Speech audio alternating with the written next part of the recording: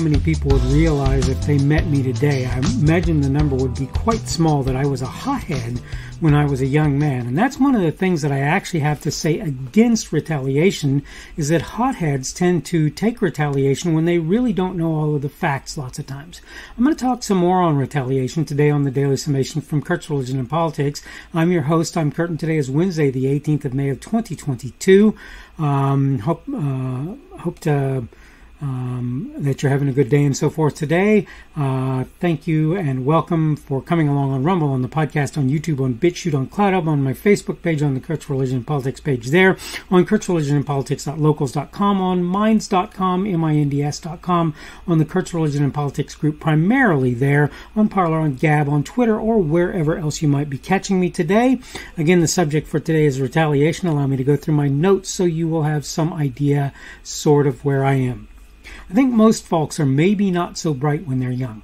This kind of was what I was getting at when I said this is that I wasn't. I was a hothead, and it meant that when I retaliated, if I did, it was really typically not a very good thing. Take my view on competition then and now. Back when, it was a thing for me to pit myself against others. Today, I work against, as it were, myself. I do pay attention to whether, what others can and can't do. When it comes time to vie against someone, though, these days it's pretty much always me. if I do end up competing with another person, I'm careful to do my best job. More importantly, though, when I was younger, I would get all upset and angry when somebody else could beat me uh, in some contest, particularly if they did so with relative ease. Those days, or excuse me, these days, I work to maintain my composure, but not for the reasons many might expect. Maybe you would, maybe you wouldn't, I don't know. Uh, when I get angry, there's a tendency for me to lose control. This results in a likelihood I'll lose a given contest through mechanisms of my own making. It's bad enough when someone outclasses you. It's worse yet when at least a part of the reason is your own mental, emotional, psychological state. Uh, what does any, any of this have to do with retaliation? Well, retaliation is just a bigger, badder tit for tat game as a rule. A person does something, another person responds with some sort of counteroffensive. Take the fellow who I hear, though I don't honestly know, was a white supremacist who went into a black neighborhood and shot the place up, claiming, as I get it, to be seeking revenge for the events of the Waukesha Parade Massacre. Besides everything else, and there's a lot wrong with his perspective and approach, you're literally taking it, uh, taking out your ire on a bunch of folks who had nothing to do uh, with the situation over which you're upset. This, in fact, this is in fact, excuse me, common for in retaliatory behavior. Even if a person goes after someone who's actually guilty of some bad behavior, it's highly likely others who were more or less uninvolved will suffer as a result. It's bad enough, for example, that the parents of the person you're seeking to harm have to deal with the guilt of having raised a child who did something horrible. I'm not saying they don't potentially bear some responsibility for the acts of their children. Uh, the problem is you have no idea what they did and didn't do for their child. Maybe they were what folks would have counted exceptional parents. You have to know there are parents out there, people would argue, did everything right only to raise serial murderers. Another thought uh, what happens when you go after someone only to find out later he or she was not the person who committed some atrocity? I get the desire to avenge bad behavior, and sometimes I can even make a case for it. Dispatching someone as you watch them try to kill others or violently invade your home come to mind as reasons. All told, though, I'm not a fan of retaliation. Too much of the time, the result is at least as bad as what brought it on. Worse yet, most people seeking vengeance feel little to no better after they apparently get it. So you killed the person who took your son's life? Did it bring him back? Did it really make you feel better?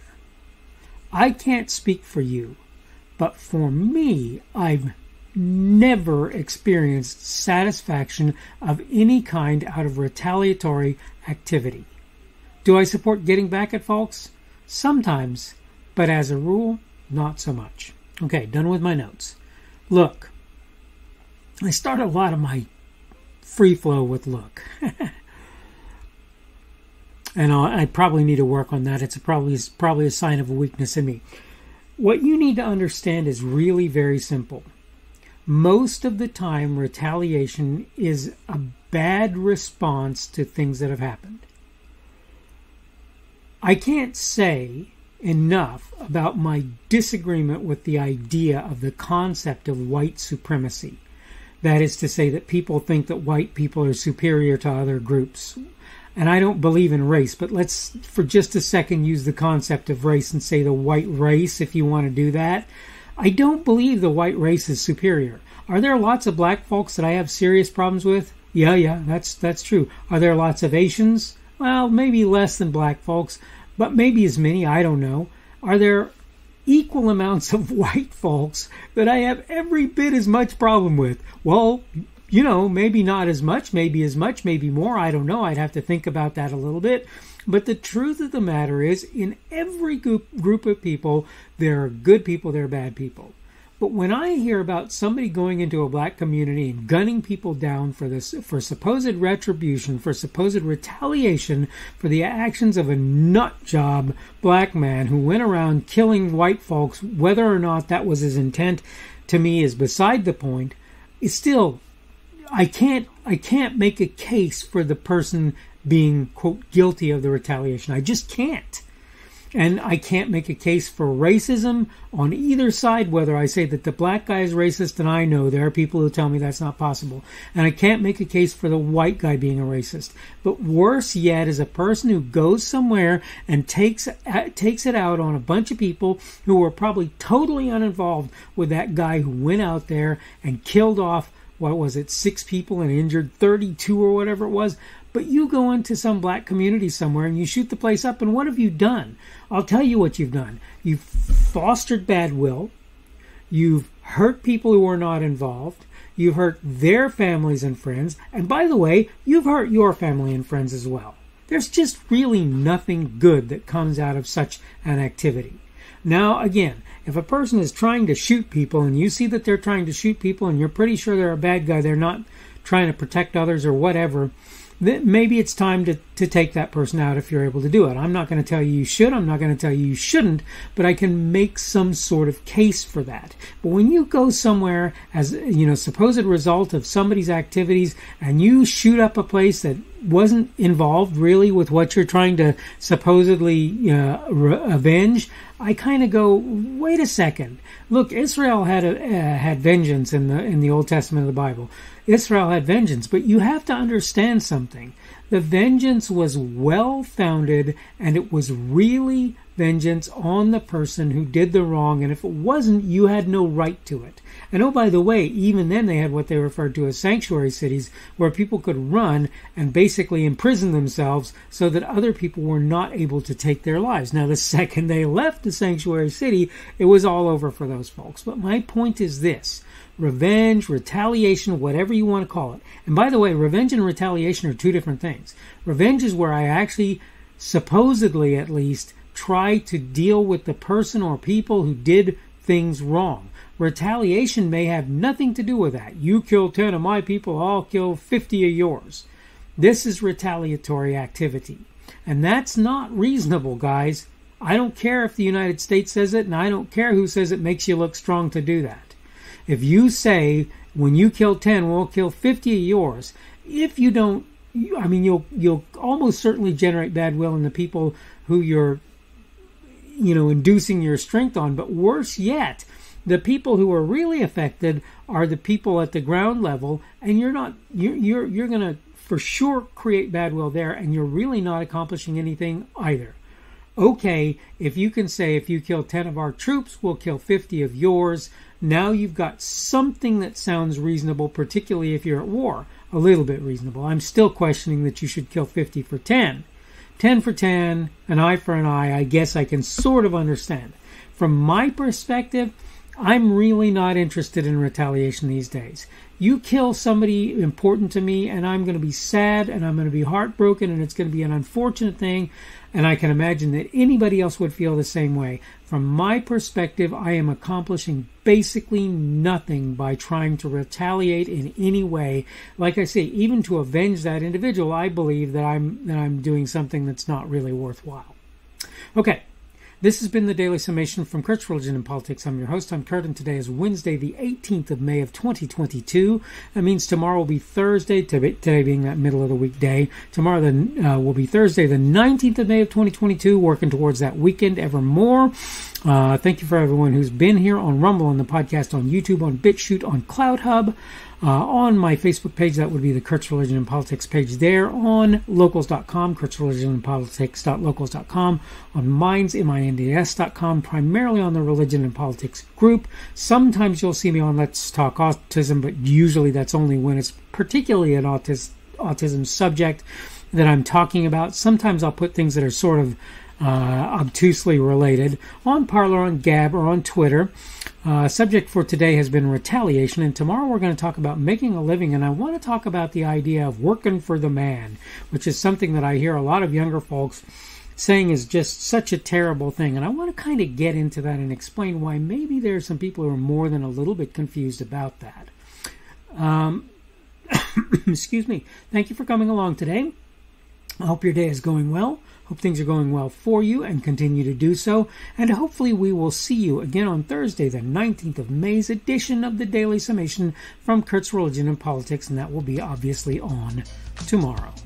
Have a wonderful day, and hopefully, we will see you then.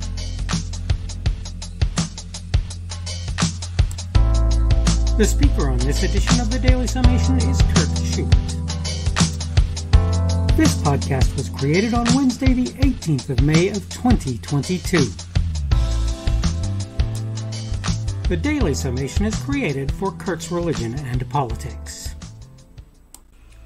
Thanks for watching today's edition of the Daily Summation from Kurt's Religion and Politics. Don't forget to come back tomorrow uh, to check out the next one.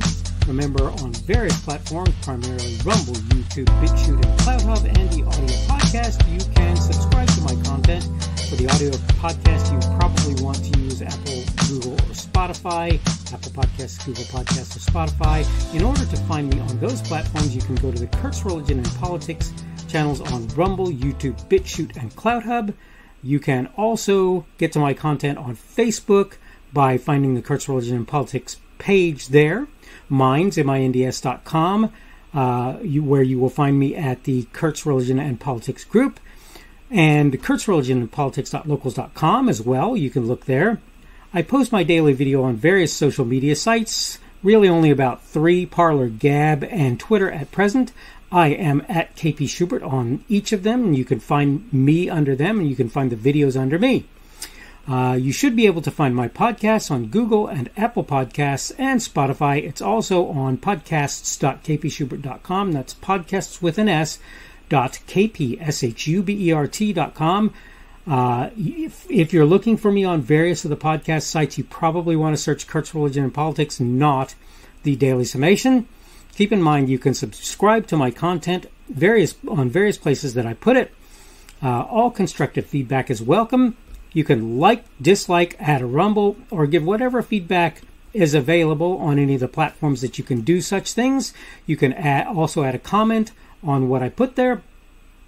Unless you're advertising or doing something that I believe will harm others, I'll leave your comments out there even if I don't agree with or understand them. I will try to let you know I've seen them when possible and may reply if I feel it's reasonable, appropriate, and possible, of course. Thanks again for viewing this edition of the Daily Summation from Kurt's Politics. Don't forget to come back again for tomorrow's as well.